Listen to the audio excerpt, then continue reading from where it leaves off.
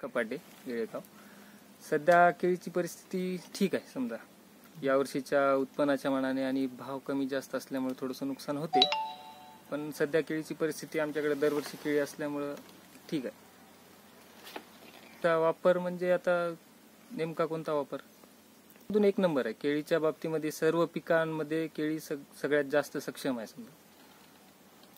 आपली केळी लोकलमध्ये पण जाते चंदीगडच्या पण गाड्या येतात आणि बाहेर बऱ्याच ठिकाणी केळी जाते. आर्थिक उत्पन्नाच्या बाबतीत विचार केला तर यावर्षी केळीला थोडासा भाव डाऊन असल्यामुळं केळीची परिस्थिती नाजूक आहे. दरवर्षीप्रमाणे भाव नाही सातशे आठशे रुपये प्रति क्विंटल असल्यामुळे थोडीशी केळीची नाजूक परिस्थिती आहे यावर्षी. आपल्याकडे आहे पाण्याची सोय. पाण्याची शंभर टक्के सोय असल्याशिवाय केळी लावण्यात फायदाच नसते.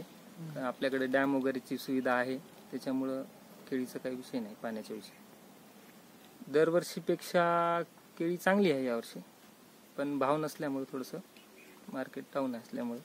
आणि आर्थिक मंदी आल्यामुळं देशावर लॉकडाऊनमुळं परिस्थिती नाजूक आहे. तर हे आलेलं आहे मधी. आणि लॉकडाऊन नसला असला समजा तर त्या बंदीनं कोणाचंही म्हणजे कोण्या शेतकऱ्याचं हे झालेलं आहे. आपलंच म्हणजे आपलंच नाही. आणि लॉकडाऊन तर चालू असलं असलं तर केळीमध्ये भरपूर फायदा आहे. असं नाही म्हणायचं असं नाही. नंबर एक मध्ये थोडंसं शेतकऱ्याला सुद्धा फायदा आहे. आणि जास्त शेतकऱ्याला सुद्धा फायदा आहे. नंबर एक आहे बघा. केळीचा आता किती नाही म्हणलं तर एकर दीड एकरला आम्हाला सुद्धा गेल्या वर्षी सात साडेसात लाख रुपयाची केळी झाली आहे. त्या वावरात पलीकडल्या दीड एकर वावर आहे. दीड एकर वावरामध्ये सात साडेसातच्या जवळपास उत्पन्न निघालेलं आहे आपलं.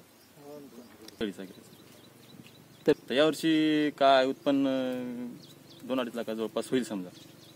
ठीक आहे इथून हैदराबाद चंदीगड चंद्रपूर लोकलमध्ये काय जाते? असं जाते बघा. हळद ऊस एवढी आहे. कापूस भैमुंग